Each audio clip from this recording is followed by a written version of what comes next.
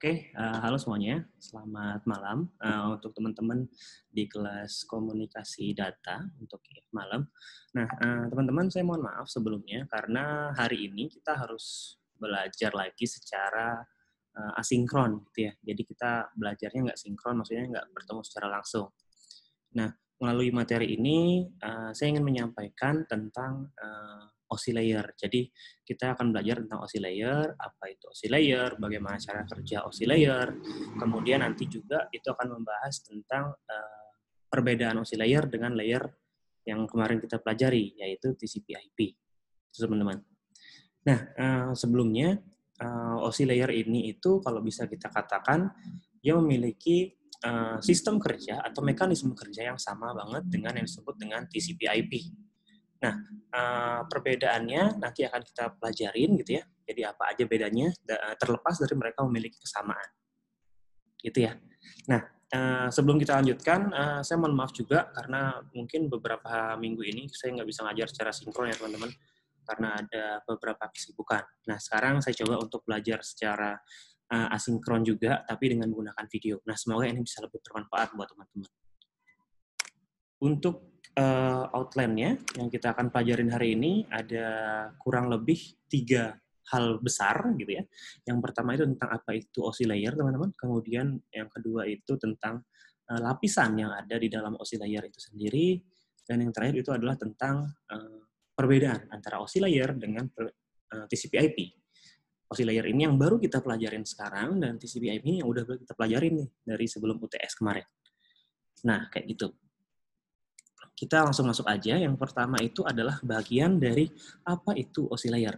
Nah, OSI layer ini kalau kita bisa bilang bahwa uh, dia itu sebenarnya ya singkatan ya, singkatan dari Open System Interconnection. Nah, ini teman-teman. Ada open, system, dan interconnection. Nah, dari kata-katanya nih, kalau kita pecah gitu ya, secara harfiah gitu, uh, open system interconnection berarti dia itu memiliki Eh, merupakan sebuah sistem gitu ya yang mem, yang sifatnya itu terbuka bisa digunakan siapa aja yang mengikat interkoneksi. Maksudnya yang mengikat bagaimana caranya kita melakukan koneksi atau komunikasi dalam hal data. Gitu teman-teman. Jadi open system interconnection. Nah eh, OSI ini atau OSI layer ini dia pertama kali dibuat oleh yang namanya ISO atau International Organization for Standardization jadi ada satu lembaga internasional yang meng-create uh, eh, OSI layer ini yang nanti eh, mereka juga menetapkan bahwa jika kalian membuat komunikasi data, mengaculah pada OSI layer. Nah, kurang lebih kayak gitu tuh katanya kalau Badan uh, Standarisasi Internasional.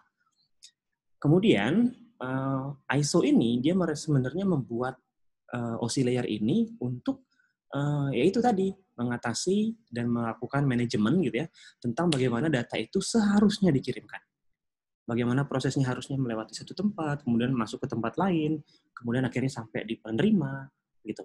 Itu yang disampaikan di OSI layar. Nah, di sini di bagian keempat, teman-teman, mungkin teman-teman akan melihat uh, yang disebut dengan reference model. Nah, reference model ini apa? Reference model ini adalah model referensi kan ya kalau kita terjemahkan ke dalam bahasa Indonesia. Yap, memang benar teman-teman. Dia adalah model referensi. Nah, yang mana model referensi ini kita gunakan untuk komunikasi data.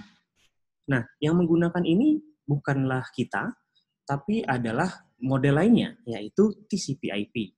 Nah, di sini mungkin udah mulai dapat nih. Maksudnya, TCP/IP itu kemarin ternyata menggunakan konsep yang sama dengan OSI layer ini. Gitu. Karena OSI layer ini dia adalah reference model atau model referensinya. Misalkan kayak gini deh, kalau kita berbicara tentang uh, cara kita menaiki motor, mengendarai motor, sepeda motor gitu ya, mungkin aturannya yang pakem gitu ya, yang ada di undang-undang atau apa pun itu peraturan, uh, bahwasanya kita kalau naik motor itu harus pakai helm, kemudian kita harus pakai sarung tangan misal ya, atau yang lain mungkin pakai jaket. Nah itu misalkan.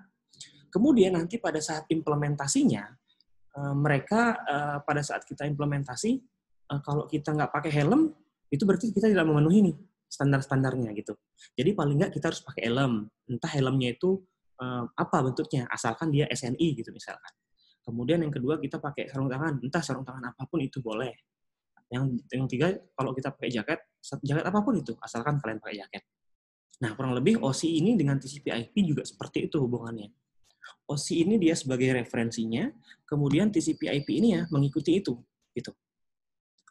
Itu ya teman-teman. Udah kurang lebih awalnya kayak gitu. Nanti akan saya ceritakan lebih lanjut. Kemudian uh, dia ini OC layer ini dia uh, memiliki sifat open kan ya tadi di atas yang sini teman-teman. Sehingga dia memiliki nilai kompatibilitas atau bisa digunakan di berbagai device. Sama juga kan ya dengan TCP/IP tuh bisa dipakai di banyak mana-mana aja gitu kan ya. Kalau TCP/IP bisa dipakai di komputer, HP, uh, smartwatch dan lain-lain. Nah, OC layer ini juga seperti itu. Nah, kurang lebih kayak gitu teman-teman. Dasar-dasar dari OC terlebih dahulu. Kemudian berikutnya, uh, OC layer ini dia terdiri dari tujuh layer. Ingat ya, dia ada tujuh layer nih. Jadi uh, layer-layernya itu kalau kemarin di TCP/IP kan cuma ada empat kan ya, empat. Kalau sekarang di OC layer ada tujuh. Nah, kalau ada yang ingat empat itu apa, mungkin udah bisa bayangin-bayangin dari sekarang. Yang pertama itu yang paling atas itu ada A. A itu untuk uh, application gitu ya. Terus yang kedua itu kalau di bagian TCP/IP ada T. Apa itu T? T itu untuk transport gitu ya. Kemudian di bawahnya itu ada I atau bisa dibilang N juga, internet atau network bisa kita bilang ya. Dan yang terakhir yang paling bawah itu adalah physical. Gitu ya. Itu pada TCP/IP. Nah, kalau kita berbicara tentang OSI layer, berbeda teman-teman. Ada tujuh kan ya? Apa aja tujuhnya itu nanti kita akan pelajari. Nah, gitu. Nah, di sini OSI layer itu dibagi jadi tujuh gitu kan ya. Dan pembagiannya tersebut itu ada juga yang namanya upper layer dan lower layer. Nah gitu. Ada layer atasnya, ada layer bawahnya. Kurang lebih kayak gitu tuh. Nah, di sini layer atasnya itu uh, fungsinya atau bisa kita bilang tugasnya gitu ya. Dia itu sebenarnya bertugas untuk melakukan handling terhadap input yang diberikan oleh si user. Gini. Jadi dia itu fokus ke usernya gitu deh. Kita bisa bilang secara umum dia fokus ke usernya. Apa yang diketikkan si user, apa yang mau dikirim si user, itu dihandle oleh upper layernya. Itu teman-teman. Kemudian ada juga nih lower layer. Nah kalau tadi upper layer itu fokus ke user, kalau lower layer ini fokus tentang pengiriman datanya. Biar dari si user ini bisa sampai di user lainnya. Nah itu fungsi dari si lower layer untuk flow komunikasi datanya.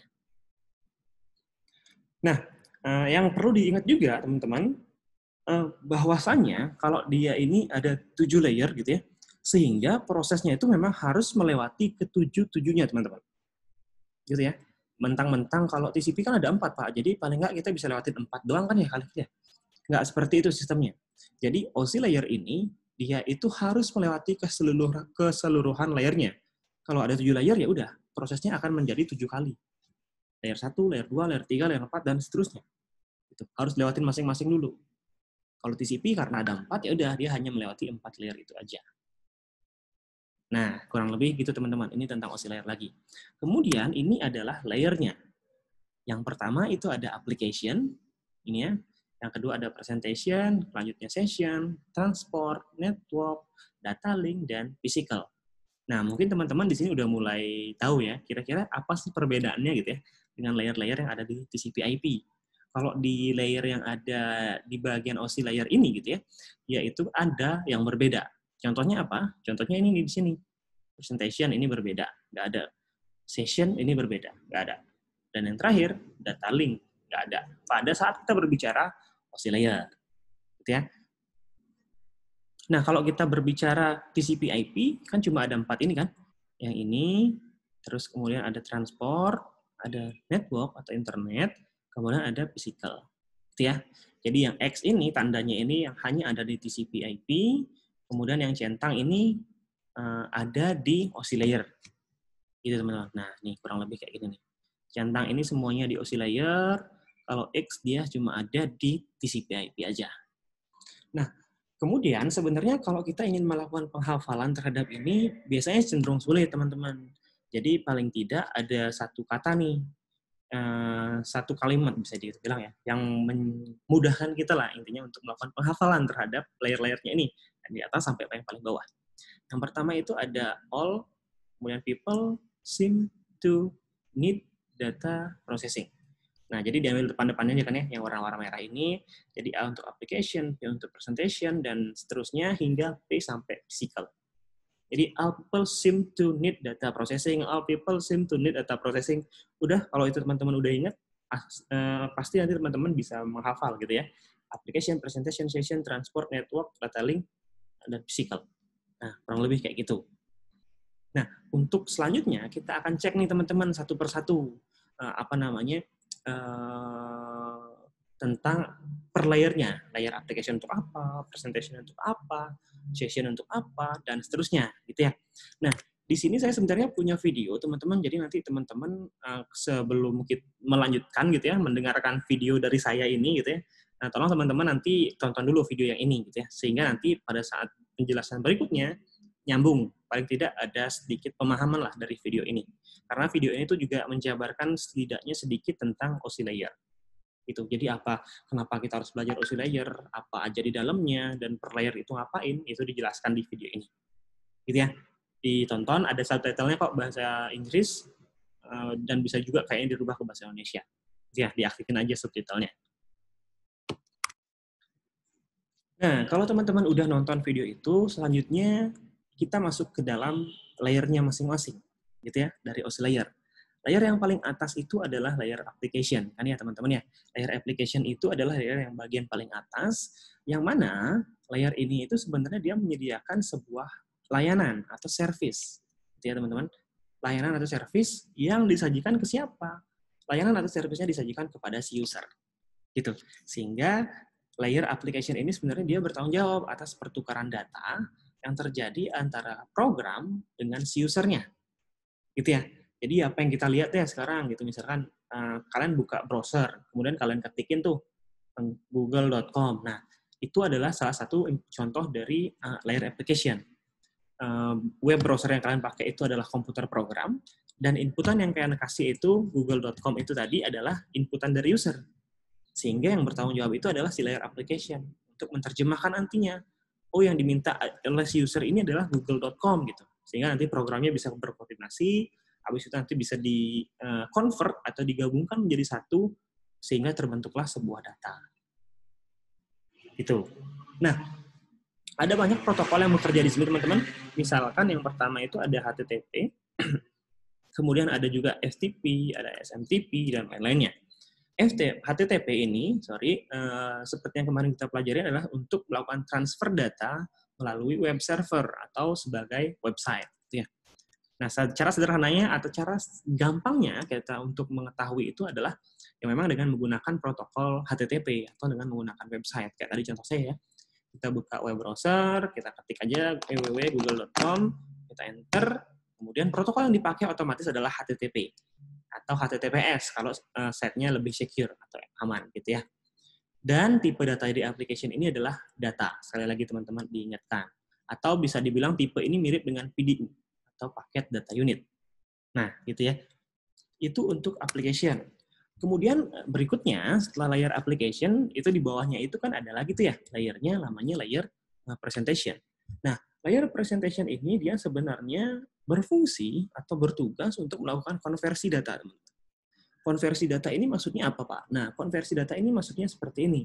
Misalkan tadi di layar application, teman-teman itu sudah melakukan input www.google.com. Gitu ya. Uh, si program ini ya nangkepnya adalah sama www.google.com gitu ya di application.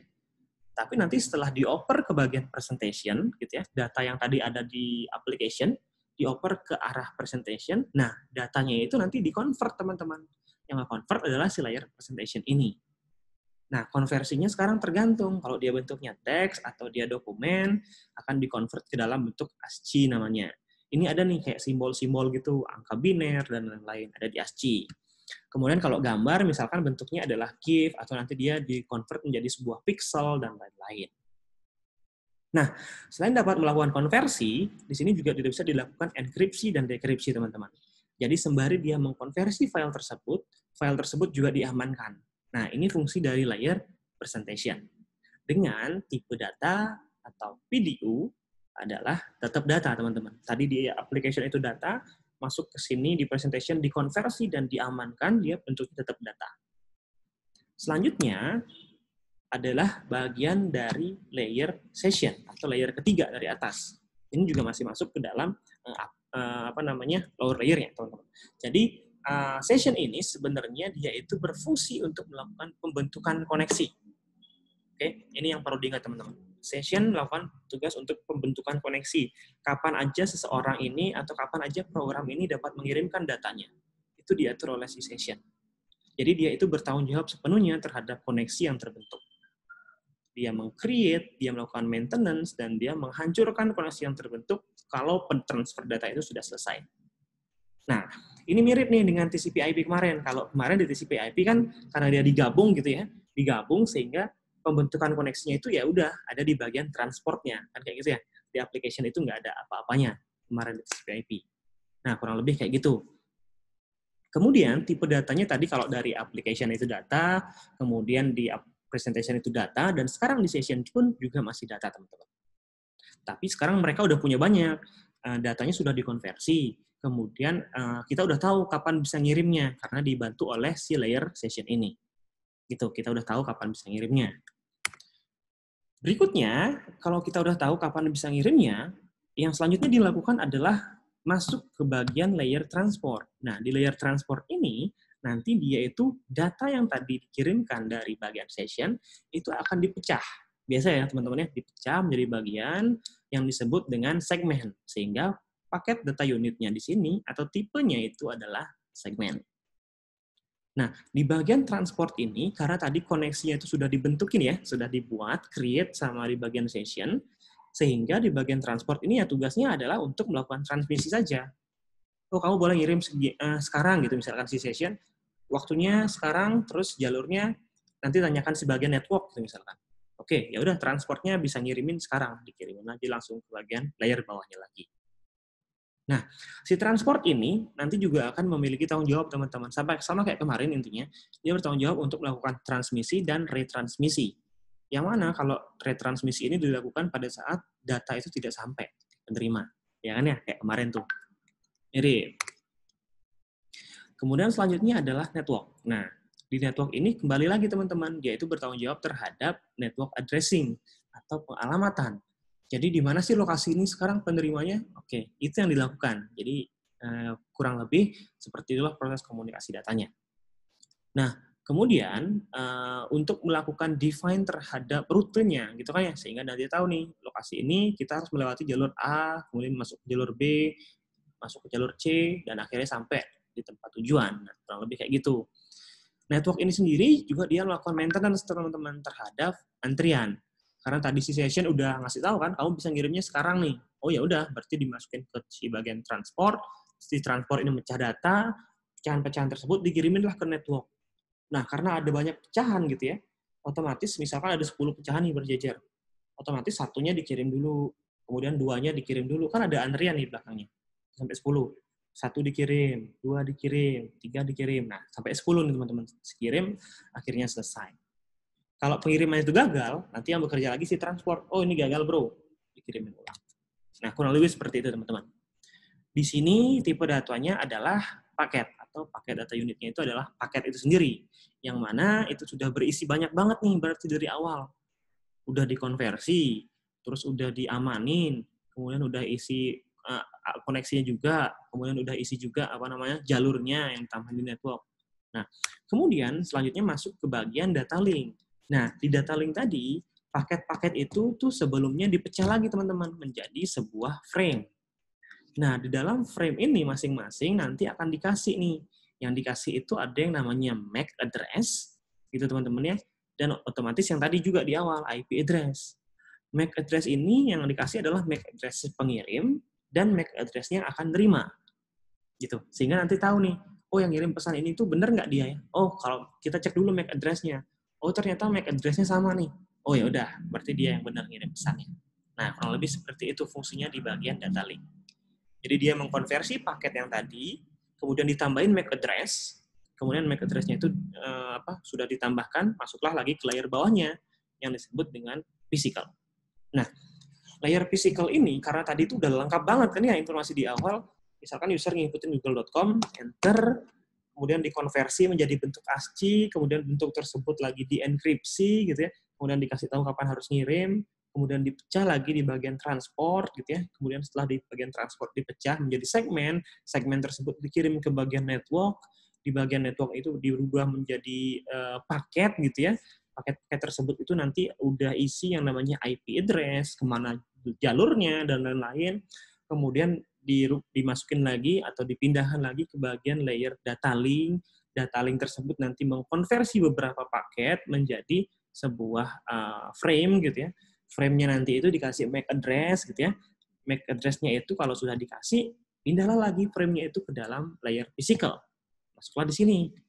Frame tersebut lagi-lagi teman-teman dikonversi nih menjadi yang namanya bit. Nah, bit ini sendiri dia itu ditransfer menggunakan media transmisi kan ya. Bisa itu menggunakan wireless, bisa itu menggunakan wired. Nah, intinya physical ini dia fungsinya itu hanya melakukan fungsi transfer dan memaintain atau make sure bahwa dia itu sedang terkoneksi ke internet. Nah, itu tugasnya dari physical layer ini. Nah, kurang lebih gitu. Jadi ada tujuh ya teman-teman ya. Application, terus ada apa? Presentation, terus session, terus transport, habis itu network, habis itu data link, habis itu physical. Nah, kurang lebih ada tujuh teman-teman. Itu yang harus teman-teman ingat. All people seem to need data processing. Nah, kurang lebih gitu. Nah, rangkumannya adalah seperti ini. Jadi ada tujuh. All people seem to need data processing. Yang mana nanti di sini akan menyampaikan bahwa setiap layer ini ada protokol yang bekerja di sana, gitu ya. Kemudian apa aja sih, uh, apa namanya, uh, kemungkinan alat-alatnya yang bisa digunakan di situ. Nah, kurang lebih kayak gitu, teman-teman. Nah, berikutnya yang perlu kita ketahui juga bersama adalah kayak gini setiap dia melewati layer gitu kan teman-teman ya karena dia ada tujuh layer nah karena dia setiap dia melewati layer gitu ya pengiriman data itu melewati satu layer masuk ke layer lainnya gitu ya pada setiap melewati layer eh, data tersebut atau pesan yang dikirimkan oleh si user ini akan mendapatkan satu header tambahan teman-teman atau bisa kita bilang ya kasarannya kayak stempel lah stempel ini yang nanti akan memastikan bahwasannya uh, penerima ini dia datanya sudah melewati proses yang benar kayak gitu deh. Misalkan ini awalnya ada data nih. Oke, data ini yang diinputkan si user. Gitu ya. Masuk ke bagian layer application. Oke, pada lo masuk udah masuk ke sini ditambahinlah headernya si application. Jadinya AHA, kemudian ada data di belakangnya. Kemudian kalau sudah begitu, otomatis kan ditransfer lagi dong ke bawahnya ya. Ditambahin lagi nih headernya sama si presentation. Sehingga hasilnya PH, kemudian ada AH untuk application-nya, dan yang terakhir ada datanya. Kurang lebih berlangsung seperti itu terus, masuk satu layer ditambahin uh, header, masuk satu layer tambahin header, masuk satu layer ditambahin header. Nah, kurang lebih kayak gitu teman-teman. Sehingga di sini nanti ada akhirnya berapa nih? Satu, dua, tiga, empat, lima, enam layer teman-teman. Enam header, sorry. Enam header. Physical ini kita nggak usah tambahin headernya lagi, gitu ya. Karena dia memang udah ngirim aja tugasnya, gitu ya nggak ada nambah data apa pun, dikirim, dikirim, dikirim. Selesai. Hal yang sama juga terjadi nanti pada saat kita berbicara di sisi penerima. Kalau tadi di sisi pengirim jadi tambahan header, tambahan header lagi, ditambahin header lagi gitu ya. Kalau di sisi pengirim ya udah prosesnya adalah kebalikannya. Berarti dikurangin satu header, dikurangin satu header, dikurangin satu header, dikurangin satu header, hingga sampai akhirnya dia akan mendapatkan ini datanya sendiri secara utuh. Nah, kurang lebih seperti itu tuh proses dari videonya. Jadi ada header yang namanya yang harus kita penuhi untuk memastikan bahwa dia itu sudah melewati proses yang sesuai. Nah, kayak gitu teman-teman. Lalu mungkin sekarang akan bertanya nih, terus apa perbedaannya Pak kalau sama aja? Kan dia cuma mecah data, kemudian datanya itu dikasih alamat, terus dikirim habis itu. Gitu kan Pak? Ya, memang hanya seperti itu sebenarnya teman-teman. Nah, kembali lagi di sini konsepnya memang hanya seperti itu pada saat kita melakukan komunikasi data. Gitu ya. Datanya itu dipecah, sederhananya gitu. Kemudian datanya itu dikasih alamat masing-masing, dikirimnya ke mana, lewat jalur apa, habis itu dikirim. Kalau ada data yang hilang, dikirim ulang, sampai datanya itu benar-benar terkirim semuanya. Nah, itu. Lalu perbedaannya apa? Perbedaannya secara mendasar, kita mungkin bisa langsung lihat ya. Kalau di OSI model itu, atau OSI layer itu ada tujuh, dan di bagian TCP/IP itu ada empat layernya ya, tujuh layer dengan empat layer. berbeda tentunya. Kemudian yang kedua, yang tadi sempat banget saya jelasin di awal itu adalah tentang reference model. Jadi yang perlu teman-teman ketahui bersama adalah pada saat saya kemarin jelasin pada saat awal banget itu tentang komunikasi data atau jaringan komputer ditemukan pertama kali, itu menceritakan bahwa TCP/IP lah yang ditemukan pertama teman-teman untuk mengatasi pengalamatan gitu kan ya. Karena ada banyaknya komputer, biar gampang alamatinnya gitu ya, mereka akhirnya ngasih TCP/IP. Komputer ini alamatnya sekian nih, komputer ini alamatnya sekian, biar komunikasi datanya bisa lancar biar nggak bingung juga kan ya komputer ini mana sih alamatnya? Di mana sih? Gitu kan. Kalau dengan menggunakan TCP/IP pada saat itu hmm, dia udah bisa menentukan oh komputer ini lokasinya di sini komputer ini lokasinya di situ. Nah kurang lebih kayak gitu. Sehingga dapat kita katakan bahwa yang lebih pertama di-create sebenarnya atau dibuat sebenarnya itu adalah TCP/IP teman-teman. Oke? Yang pertama lebih eh, yang lebih pertama dibuat itu adalah TCP/IP namun si ISO ini international standar untuk orga, uh, international organis standar for uh, standar itu ya gitu ya sebenarnya. Dia itu ingin membuat suatu sistem atau suatu standar uh, yang memastikan bahwa komunikasi data itu harus berlangsung seperti ini ini ini ini.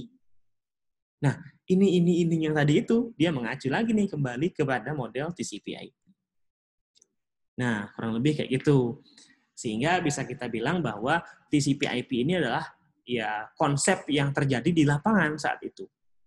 Namun OSI layer ini atau OSI model ini merupakan konsep yang bisa kita bilang perfect lah pada umumnya, tapi tidak kita implementasikan di dunia nyata. Oke, jadi pada saat ini kalau teman-teman menggunakan komputer, laptop atau apa pun itu, itu adalah menggunakan, eh, menggunakan bantuan dari model TCP/IP karena semua perangkat teman-teman itu menggunakan model TCP/IP, baik router teman-teman yang ada di rumah, modemnya, ataupun misalkan ada yang di rumah pakai server gitu ya, semuanya itu menggunakan TCP/IP sampai sekarang untuk proses komunikasi datanya. Gitu ya. Sehingga diperjelas bahwa TCP/IP ini dibentuk terlebih dahulu, kemudian untuk menyempurnakannya dan untuk eh, membuat standar tentang komunikasi data, akhirnya ISO International Standard for eh, organization itu membuat nih uh, apa namanya uh, OSI layer ini untuk memastikan bahwa nanti kalau ada yang membuat lagi harus melewati jalur ini gitu ya, harus mengikuti OSI layer ini. Nah, gitu teman-teman. Kemudian apa Pak kelebihannya kita belajar TCP/IP terus ada kita belajar OSI juga kan kayak gitu ya. Nah, nanti sebenarnya kalau kita berbicara secara uh, gamblang gitu ya bisa dibilang uh, eh, OC model ini itu nanti akan berpengaruh pada saat kita melakukan troubleshooting. Nah, mungkin nanti teman-teman udah sempat nonton di video tadi ya, yang mana menceritakan bahwa uh, kalau kita ada kerusakan misalkan di jaringan atau misalkan di komunikasi data, ini usernya berhasil nginput kok, tapi kok nggak kekirim-kirim ya? Nah, itu nanti akan dicek satu-satu kan ya, apakah nanti dari programnya yang memang error, application-nya, atau yang apa. Ini semuanya udah kekirim nih, tapi kok nggak sampai ya di penerima gitu misalkan. Oh mungkin nanti uh, rutenya nih kalau rutenya itu kita cek lagi dulu dari layer berapa. Oh layernya di rute itu ada di bagian network. Oke dari network lah yang akan di trace nanti. Tuh sehingga nanti ketahuan errornya itu di bagian mana. Nah itu fungsinya dari OSI model. Jadi dia hanya di bagian dijadikan sebagai referensi saja. Gitu teman-teman. Kemudian Berikutnya adalah tentang perbedaannya gitu ya. Tadi udah sempat saya sampaikan 7 layer dengan 4 layer. Of course, dia beda kan ya. Kemudian uh, struktural konsepnya. Kalau kita menggunakan TCP/IP otomatis dia akan lebih murah. Pasti akan lebih murah teman-teman karena dia lebih simpel. Sudah 4 layer doang kan ya. Jadi satu layer itu fungsinya ya kompleks memang, tapi akan lebih cepat juga dan lebih simpel. Kemudian ini perbedaan lainnya eh, pada saat kita berbicara tentang OC model, kalau kita ingin implementasikan itu gitu ya, itu akan menjadi sangat complicated teman-teman. Complicatednya apa? Karena kita bisa bilang, tadi kan saya jabarkan bahwa semua perangkat yang kita gunakan menggunakan TCP/IP model gitu ya. Kalau kita tiba-tiba merubahnya menjadi OC model atau model lainnya gitu ya, bayangkan semua perangkat di dunia ini harus dirubah teman-teman bisa dibilang bahwa internet akan mati untuk beberapa saat gitu ya ini yang akan menyulitkan kita untuk melakukan hal tersebut Gitu ya, implementasinya sulit kalau kita berbicara tentang OSI layer. Tapi kalau TCP/IP sangat mudah. Nah, uh, ini adalah perbedaannya teman-teman kurang lebih. Jadi ini OSI model ini di develop oleh ISO, kemudian TCP/IP ini oleh ARPANET ya. Advanced Research eh, Project Agency Network. Nah, jadi itu yang mendevelopnya. Kemudian uh, ini di sini itu dia itu dibentuk terlebih dahulu teman-teman. Jadi uh, eh, TCP/IP ini yang menjadi pelopornya, kemudian habis itu baru di develop dan disempurnakan oleh si OSI model. Nah, ini ya, it's defined before the advent of the internet. Jadi sebelum ada internet itu, dia hanya masih jaringan komputer ya, bentuknya lokal satu gedung gitu karena ada banyak ya dikasih TCP/IP sama dia. Kemudian habis itu berkembang berkembang berkembang ada internet. Kemudian oh kita perlu standarin gitu kata si ISO kan. Oh ya udah dia standarin dengan membuat OSI layer model tadi itu. Makanya dia ini buat setelah internet itu ada. Nah, kurang lebih seperti itu teman-teman eh, penjabaran untuk kelas hari ini. Nah, intinya di sini adalah OSI model dan TCP/IP model itu sebenarnya adalah model untuk melakukan komunikasi data. Yang berbeda sekarang itu adalah di sini.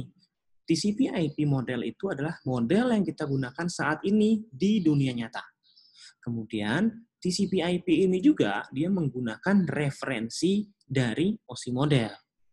Karena TCP/IP ini ada ada terlebih dahulu, kemudian si OSI model ini dia uh, melakukan pengembangan-pengembangan, gitu ya, pengembangan-pengembangan sehingga disebutlah suatu konsep baru atau model baru disebut dengan OSI.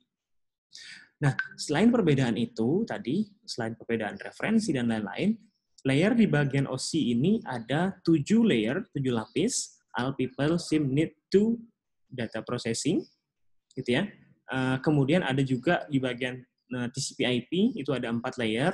Jadi kalau di bagian uh, apa namanya OC layer itu dia pakai application, presentation, session, transport, network, data link, kemudian baru masuk ke physical. Tapi kalau kita berbicara tentang TCP/IP, ya udah cuma empat doang. Application, transport, network, dan yang terakhir adalah physical. Nah, itu perbedaannya.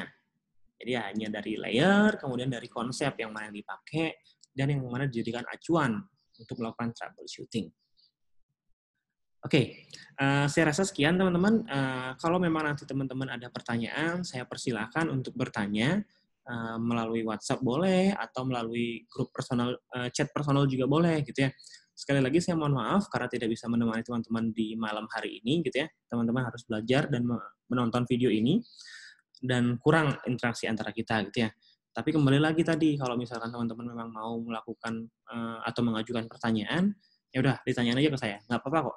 Entah hal apa pun itu saya persilahkan gitu, nggak harus yang kompleks nggak, at least nanti teman-teman akan paham perbedaannya antara OSI layer dan TCP IP ini. Gitu.